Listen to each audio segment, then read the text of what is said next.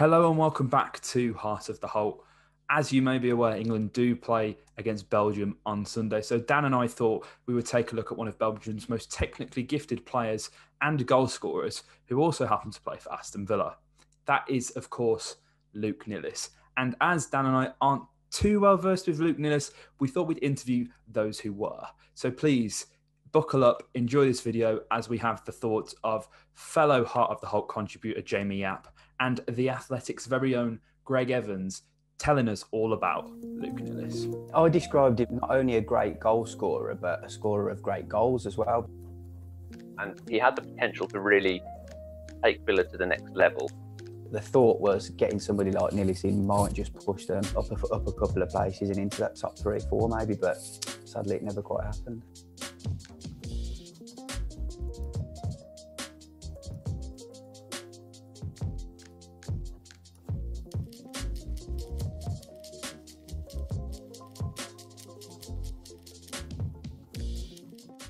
First, we've got to set the scene. So here's fellow writer and contributor Jamie Yapp, who is also our in-house Eredivisie expert.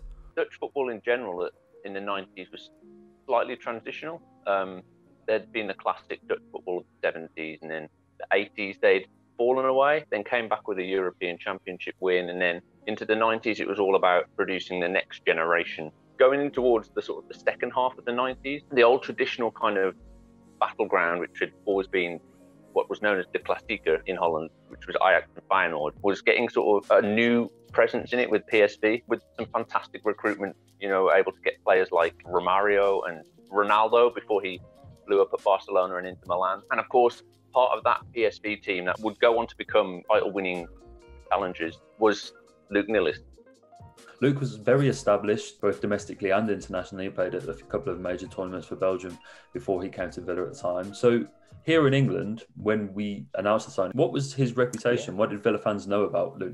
I described him in, in the article I wrote re- recently as not only a great goal scorer, but a scorer of great goals as well, because, you know, he always played with a smile on his face. His, his record was very prolific. But if you look through his highlights and, and, his, and his reels, you know, his goal clips, there are so many brilliant goals. So he'd done it in Holland, he'd done it on the international stage, albeit taking him a while to, to get going for Belgium. And, and, there was lots of interest in from France, from Spain. Liverpool wanted to take him as well. But John Gregory looked through all it, all his clips and, and, and basically what sold it, what sold Villa to him was the fact that John Gregory knew his game inside out. He knew exactly how he played. So it's clear to see that John Gregory knew exactly what Luc Nilis was about.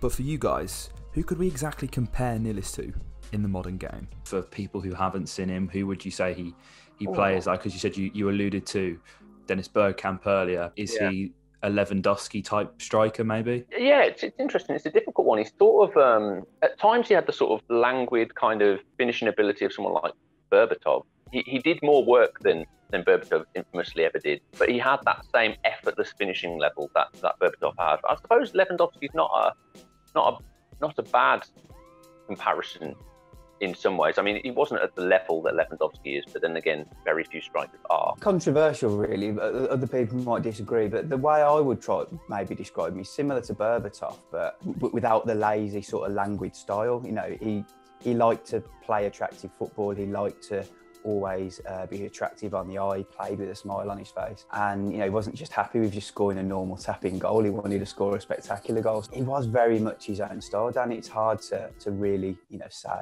anybody that was similar to him. Nilis couldn't have asked for a better start at Aston Villa, scoring an absolute screamer on his debut against Chelsea. When I saw the goal, um, I mean, I, I, think I'd heard it on the radio as well, um, and it described it as a wonderful finish. Um, you, you, watch it, um, and it, yeah, it's a striker who knows exactly what he's doing.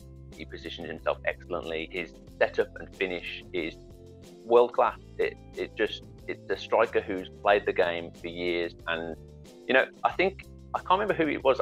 Whether it was was it Marcel Desailly? I think who was marking him. I think I think it was man to man mark, and I think it was Desailly who was on him. So I mean that's not a bad centre back to bamboozle and finish past.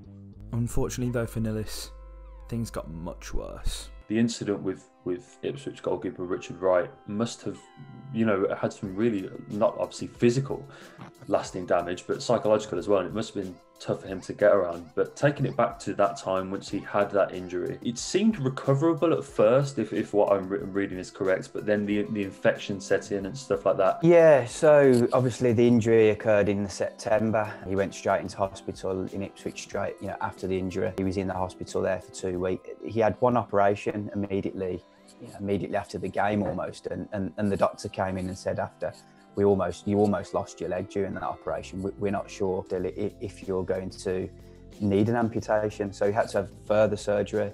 It, t- it probably took him about two months to realise that there, w- there was going to be no way back then. And it got to the end of December. Doug Ellis called Nilis back to, to Birmingham and said, "Look, you've got to sign these papers to say that you know you're, you're going to retire, and we'll sort out the insurance premium eventually for him." No, I think as soon as I saw it, you think the worst because you instantly know that it is obviously clearly it's a broken leg. A broken leg is in its in a recoverable form is a, at least a year out. And once you've got a player who's 33, especially an outfield player, you've got to think there's a good chance that that might that might be it for them as a player.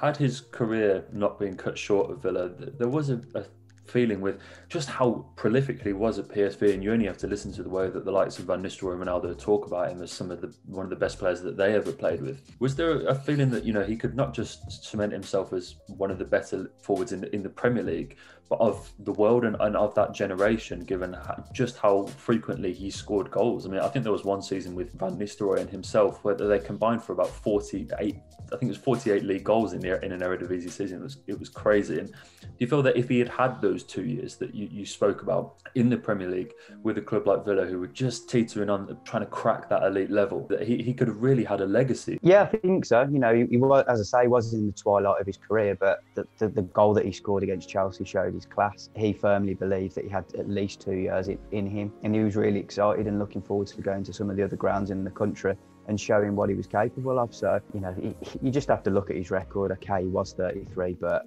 I firmly believe he had he had lots of games and goals in him still. Rightfully so, Nilis will be forever immortalised at Aston Villa for that goal against Chelsea. But there will forever be question marks cast over him and Aston Villa of what could have been had that freak accident not have happened.